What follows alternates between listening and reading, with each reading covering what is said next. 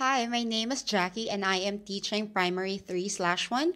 Here with me today is one of my students from my IEP class. Can you please introduce yourself? Good morning. My name is Tonfon. I am in primary 3 slash 1 with teacher Jacky.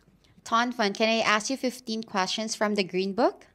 Yes, you can. Okay, my first question is When do you watch TV? I watch TV when I have free time. Can you play tomorrow? Yes, I can. Do you take a nap after school? No, I don't. Who is your best friend? My best friends are Gambum and Pry. Do you like music? Yes, I do. Where were you yesterday? I stayed at home yesterday. Do you have line? Yes, I do. What sports do you like? I like swimming. Are you free on Sundays? Yes, I am. What did you eat yesterday?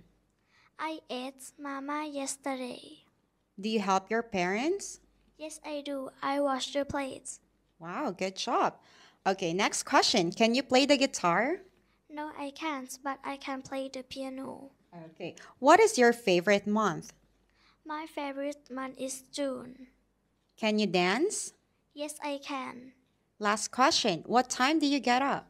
I get up at 6 a.m. Okay, very good, Tonfon. All right, so that's all for today. Thank you for listening. Bye.